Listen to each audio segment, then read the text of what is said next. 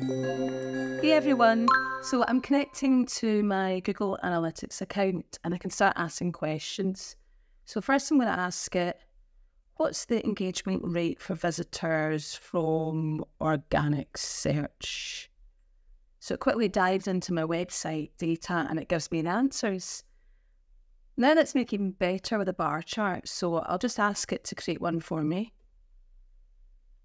Great.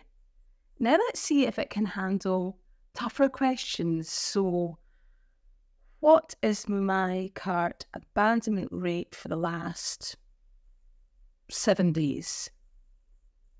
It'll show me a summary as well as a detailed view. Okay, I want to see it in a line chart now. So, show this in a line chart. There we go. It's super easy to check daily performance this way. Um, plus, I can download the chart and I can send it to my team without any hassle at all. Sign up for a free account to help you improve your marketing strategy and decisions.